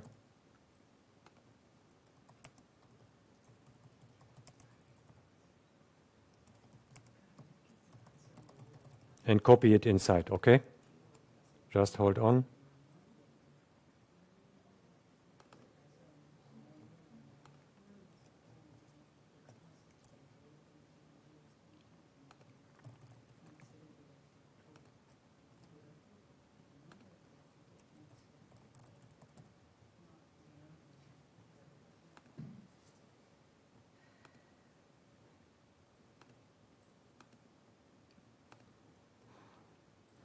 It? Not this, not this.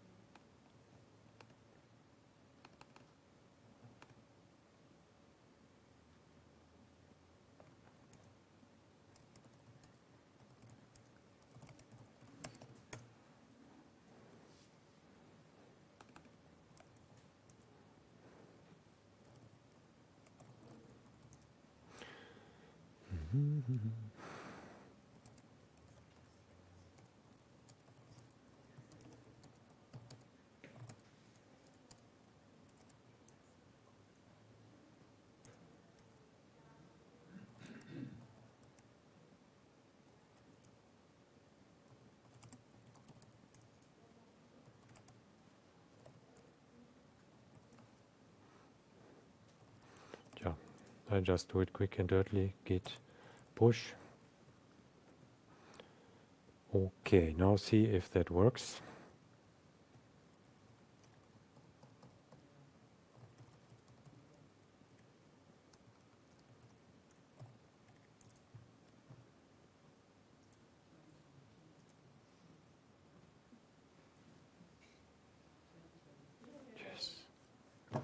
Cool. So next thing is exporter. Uh, you probably didn't see what I did, so I put it into the text file.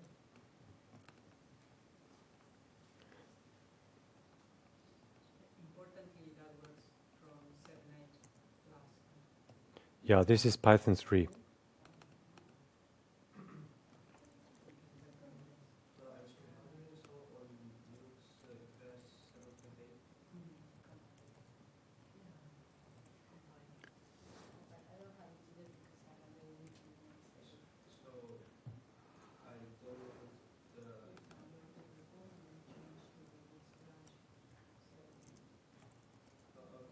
don't have it today because I have a meeting next day. Yeah, it is in Ubuntu, it's under experimental. Yes. But I had that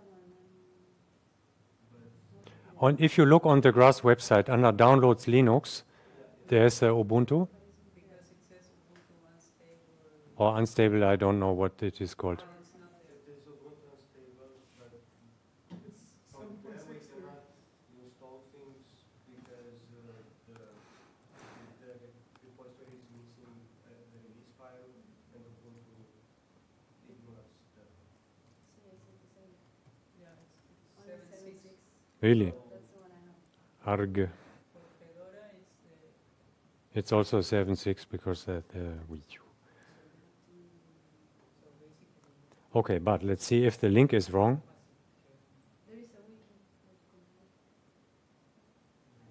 That. Um, uh, Angelos packaged it. Okay.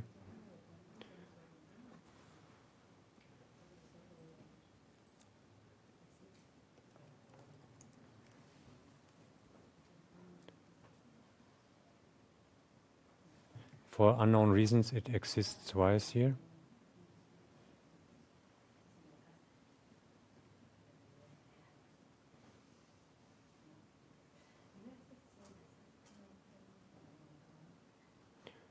Yeah, sorry, I thought it was there. Maybe it was taken off again. Mm, yeah. Okay, wait, but I you can probably try to use it nonetheless because in the end it's just fake scripts and it is.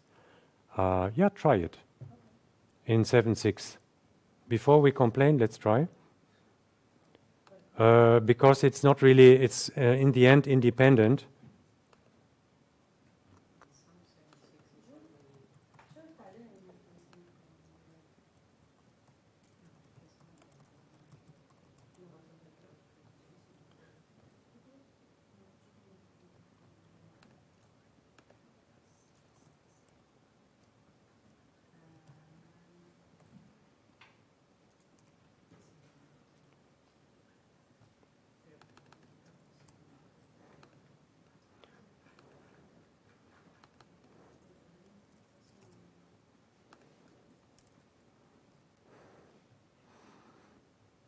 So license GPL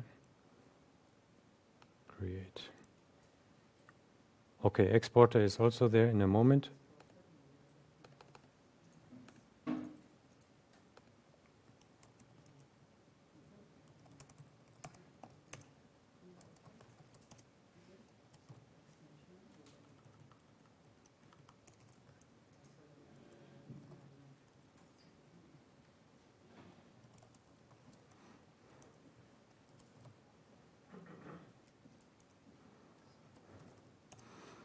Okay, exporter is ready. And installation is simply exporter, exporter.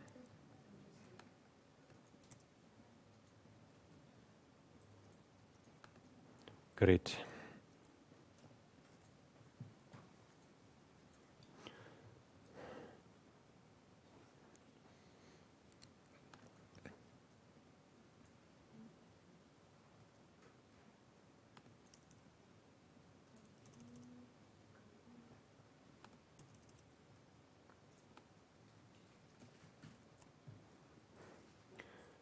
Did you manage to get it?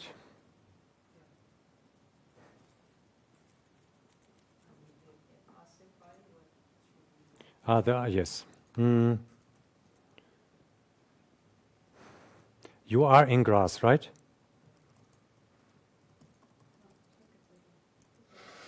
Dollar. GIS, what is it called? GIS base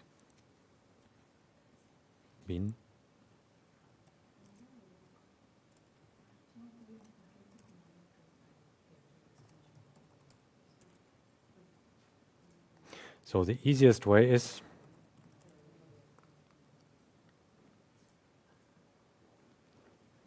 it needs to be installed somewhere in the path.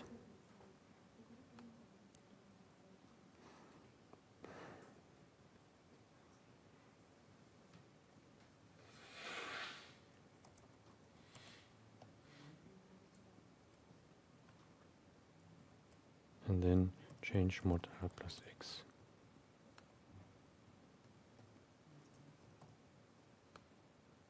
So this would be probably the best commands to install it. Like this.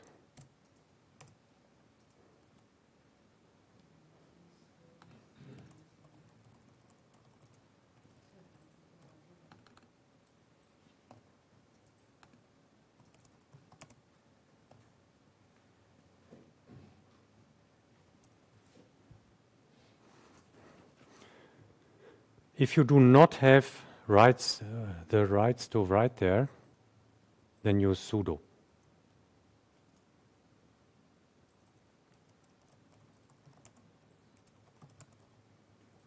So unfortunately for Windows users, I have no idea how to solve this right now. But if any advanced Windows users is willing to tell me what I put into the instructions, then I'm happy to do so.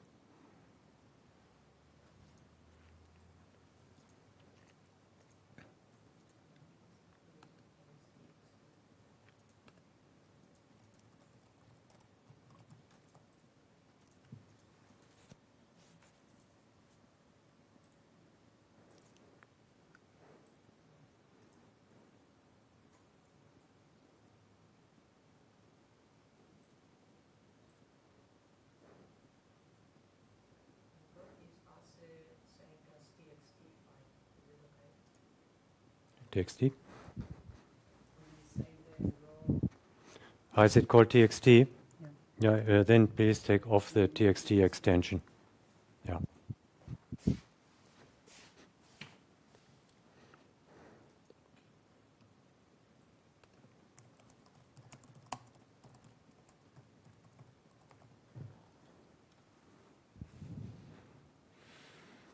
Can I help anyone? Are you ready?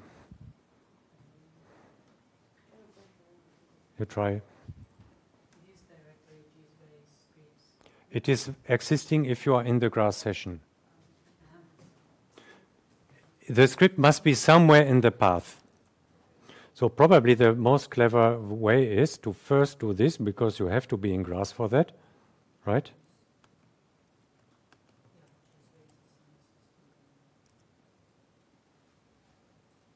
And then do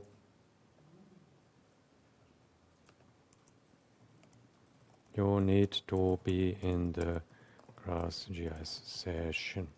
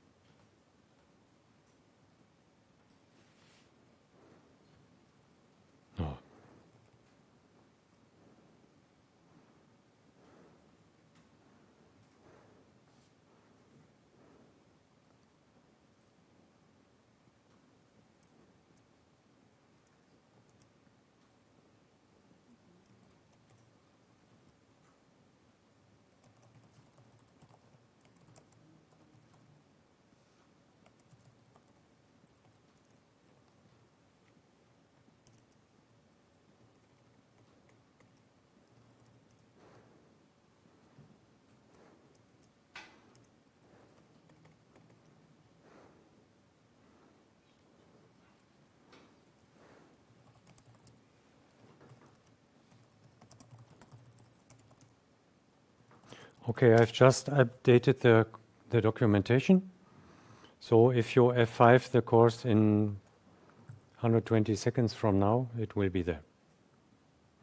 Because the, the tutorial here is uh, auto-generated.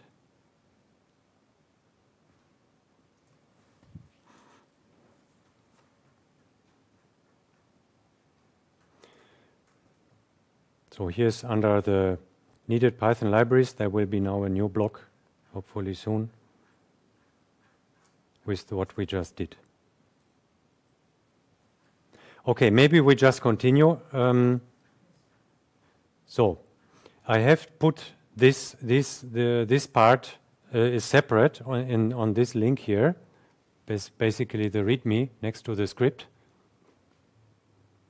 We now assume that everything is running.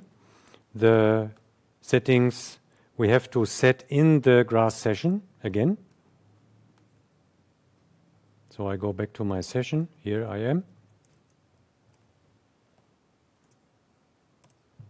You can use whatever location. It doesn't matter because you tell uh, uh, always what what you use.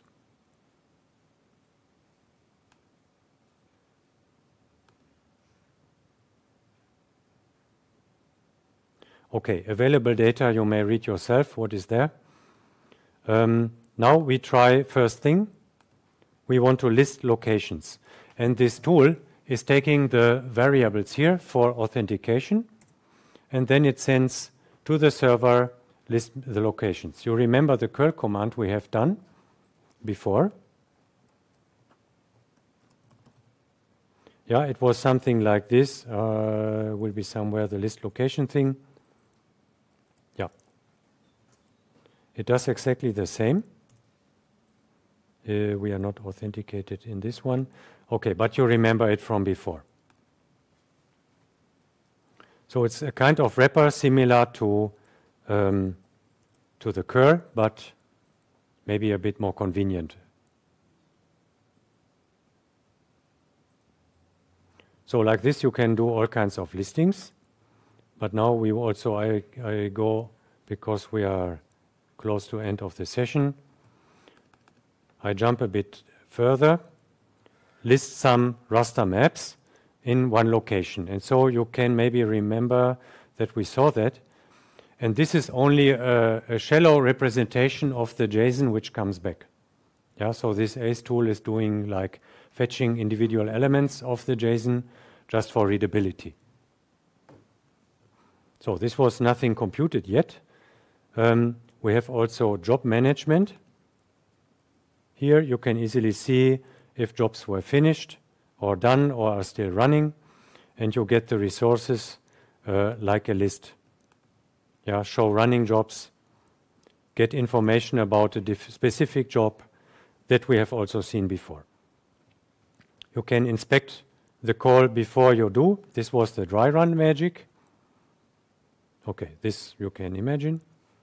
Now with the dry run, we do some random command it is not executed, it is just translated into the JSON. And this is essentially what happens if you um, if you write a chain of commands in a shell script, in Python probably as well. Maybe for the Python scripts, yeah, I don't know, I have to check that. So the rendering is a bit different. No, sorry, it's not different requires more power uh, than the demo user has. So I just do that now. I switch on the fly to my other credentials. Okay, now I have my other credentials and I believe I can now do that. So I uh, ask, uh, tell me some metadata about this GlobCover ESA map. And this is the amount of pixels we have here. So quite a few. And if I want to look at it, you remember the curl render command. Yeah, it is similar, render raster. Oh, wow, there it is already. So we have now rendered uh, a thumbnail out of how many is that? Uh, 7 billion pixels. So why is it fast? Because Grass, of course, doesn't read 7 billion pixels. but it does kind of uh, low-level resampling because we just requested a thumbnail, so you get a thumbnail and it's fast.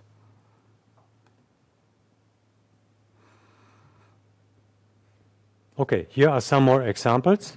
We can check what is on the server, but I think we have to give it really the location. Ah, this, okay, you have seen, I did not specify the location here. In this case, you don't say location on the server be this one, it transmits the location name in which we are. If that's useful or not, I don't know. I would personally recommend to always specify because then you know what you get. So the list for those familiar with the North Carolina data set looks of course the same, but it is the list from the server and not the local one. Okay, some more examples, the region, the same thing. And now eventually uh, the example before we close. We write a new script. Vim this script here. And we do these commands here. I will explain. So what do you see? We start with set the uh, computational region to the elevation map, but the elevation map, please fetch from this online resource here. And then run the computational, uh, the univariate statistics, give me some information, generate the slope aspect, and please give me the elevation, uh, the slope map as a geotiff. Okay, so this we save. This is more or less a standard script. And this we can then execute. I will also put here minus minus location is NCSPM 08. And I send it to the server. I don't. Ah, sorry, maybe we have to put the real path, home. So this is where I am. Resources accepted. And we are almost ready. This is not an error, it's just the missing color table. And here is the map. So I open it in QGIS.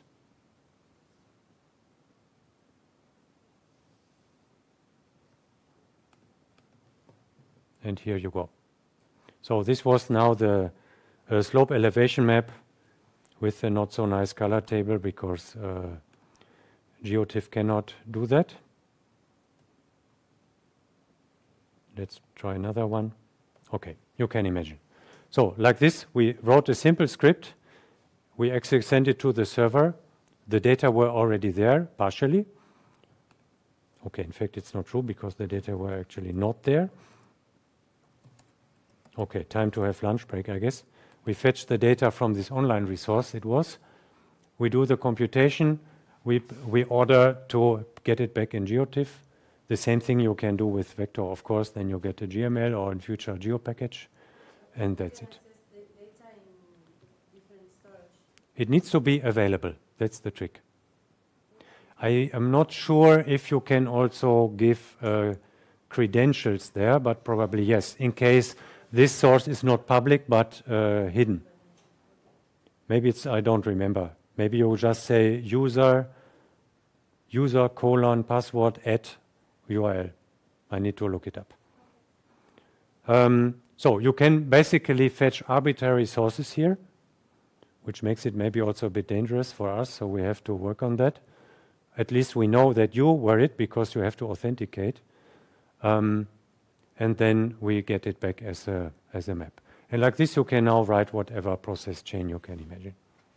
And it's also with this tip then that it stays on the server for one day, or is this? Yes, exactly. So I will look up what the current time is we have put there, and we'll also add it to the tutorial. And does that also mean that if I not put this TIFF there, that then all the people can use this? No, no, exactly not.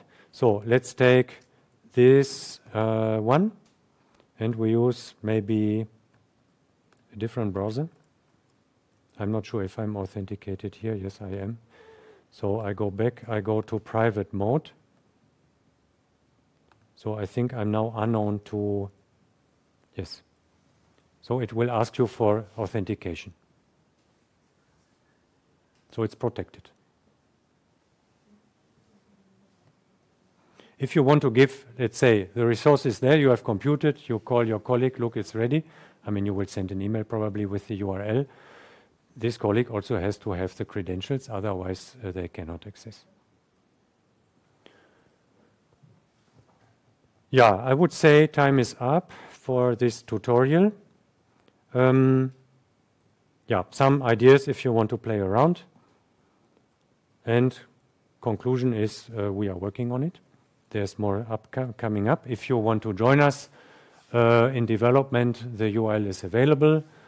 And I will also add the paper reference uh, of our paper. And with that, I would like to thank you for your attention, and I hope you got some ideas how, how this stuff works. Thank you.